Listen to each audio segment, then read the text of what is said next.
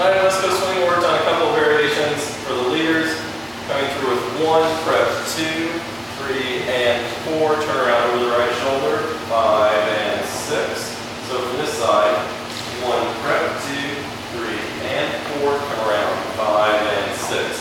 And then we added a little, like lift the leg thing, three and four, five and six. So just picking the leg kind of like in a figure four. One, two, three, and four, five, and six. Requires a little bit of balance to come around on that left foot. It's a little shaky sometimes.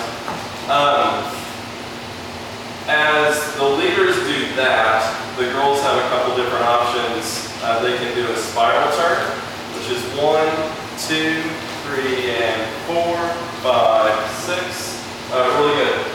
Uh, so what's going on is we've got one, two, girls step three, leave their weight on their right foot, turn their body, and bring this leg forward, their left foot forward on four, come out, five, six. The other option is a kick turn, which looks like this. uh, one, two, and three. So the weights kind of split and we unwind and move the weight to the left foot on four, five, six. So faster looks like one, two, and three, four, five, six. Um, that can, so that can be done from here.